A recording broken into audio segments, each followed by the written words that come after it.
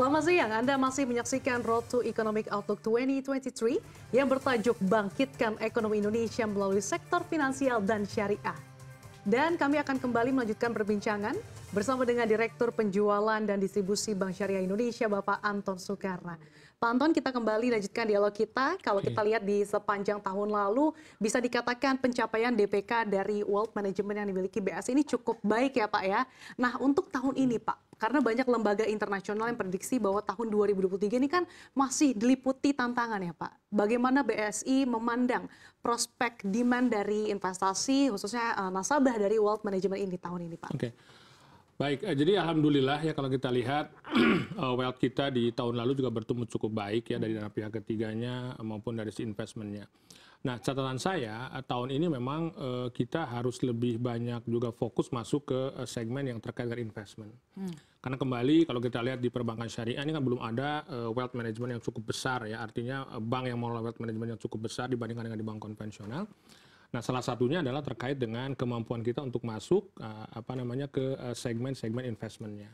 Jadi kalau boleh saya katakan uh, kita sekarang masih mencoba untuk melakukan transformasi dari yang tadinya hanya mengumpulkan dana pihak ketiga misalnya di wealth yeah. ini, kita akan coba alihkan mereka ke apa namanya uh, investment sehingga hmm. buat kami di bank nasabahnya pun akan memperoleh ya sesuatu yang uh, berbeda gitu, yeah. tidak hanya sekedar menyimpan dana tapi juga dia punya exposure terkait dengan investasi dan kalau kita bicara investasi gitu kan maka kemudian nanti dampaknya terkait dengan pembangunan gitu ya, ya dan segala macam termasuk juga nanti ketersediaan uh, apa namanya uh, produk investasi syariahnya di lapangan jauh akan lebih banyak lagi. Dalam hal ketersediaan produk investasi, iya. adakah dari Pak Anton tersendiri evaluasi karena kan ini iya. adalah ekonomi syariah ya Pak ya perbankan betul, syariah. Betul, betul. Dalam hal evaluasi kedalaman investasinya dan juga bentuk-bentuk produknya seperti apa Pak selama ini yang sudah ada? Oke, okay, jadi uh, kalau kita lihat ya yang ada di kita di perbankan syariah sekarang misalnya, contoh lah untuk investasi kita yang paling utama itu sekarang masih yang sifatnya itu yang paling paling uh, boleh dikatakan sederhana ya. ya.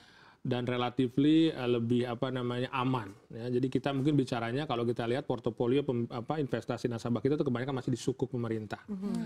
Itu bagus dan saya juga terima kasih ya kepada Kementerian Keuangan yang kemudian menjual produk gencar ini dan kemudian ya. juga gencar mempromosikan produk ini dan itu menjadi salah satu alat kita juga untuk bagaimana mempelajari ya nasabah-nasabah di syariah untuk mulai berinvestasi dengan cara yang sehat dan juga tapi terlebih lagi aman, aman. Ya kan?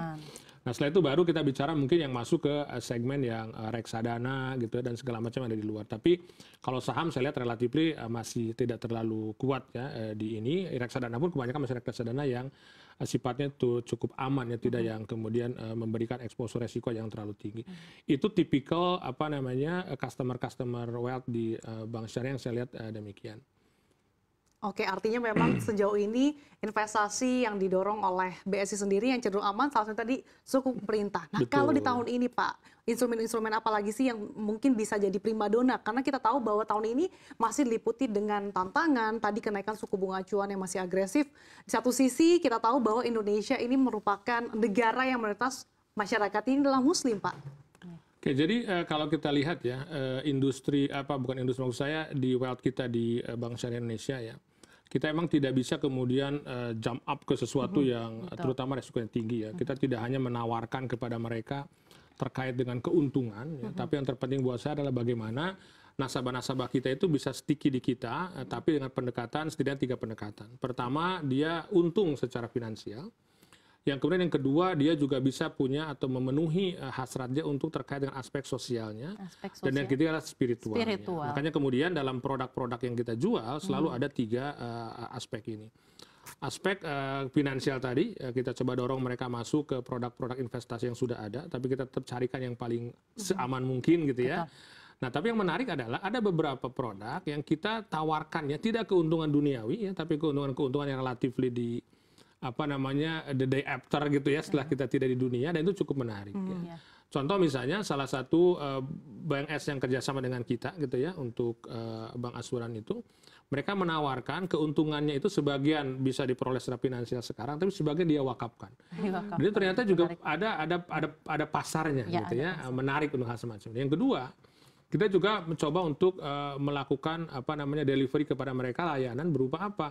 berupa bagaimana misalnya waris itu dilakukan. Hmm. Karena banyak orang-orang yang wealth juga ternyata kan dia tidak paham bagaimana uh, mengelola waris sejak awal gitu ya kepada anak-anaknya. Termasuk juga kita tawarkan kepada mereka bagaimana uh, kekayaan mereka itu kemudian kita sebut sebagai wealth purification gitu ya, dibersihkan dari kewajiban-kewajiban keagamaan dan itu juga ada uh, marketnya juga. Ada Alhamdulillah, ya Pak ya? Uh, iya mereka hmm. tertarik dengan semacam ini. Buktinya kemarin waktu kita mengadakan apa namanya forum di uh, Ritz Carlton itu yeah. satu stream yang terkait dengan itu wealth purification, wealth purification. itu juga menarik, ternyata ya? menarik dan uh, banyak orang yang mau hadir di sini. Ya? Banyak Pak orang-orang khususnya wealth management? Itu kita bagi tiga stream kemarin itu ya, mm -hmm. tiga kelas itu masing-masing mungkin sekitar 150-an orang dan semua kelas itu full. Bahkan ada satu kelas yang apa namanya sampai harus kita tambahkan kursi. Jadi saya lihat uh, ada satu sisi yang mungkin selama ini kita pikir orang kaya itu hanya butuh menambah kekayaannya, tapi ternyata, ternyata ada juga, that. betul. Ya. Mereka juga yang mau uh, bagaimana uang ini memberikan berkah kepada mereka dengan cara tadi itu. Menarik.